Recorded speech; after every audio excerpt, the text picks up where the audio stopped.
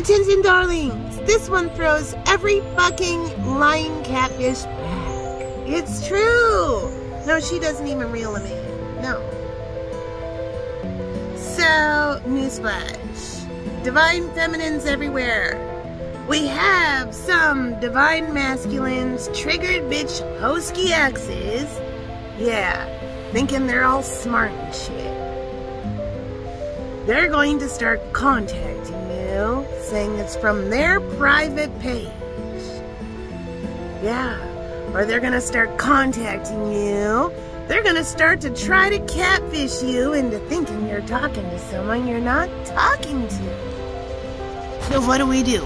We use our common sense.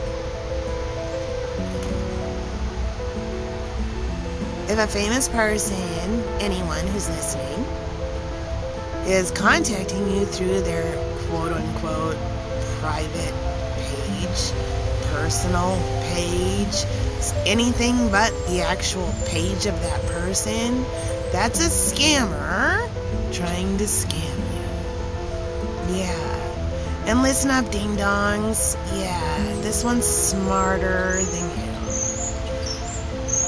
She ain't gonna fall for no banana in the tailpipe, if you know what I mean.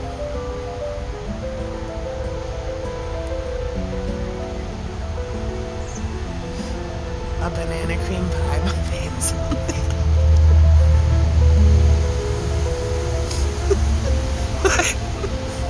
I have no idea.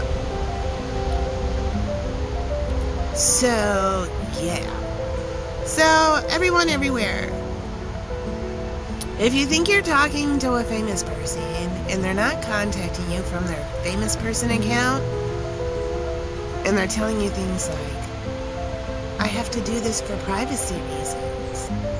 Yeah. If they start out the very first communication with, I have to hide.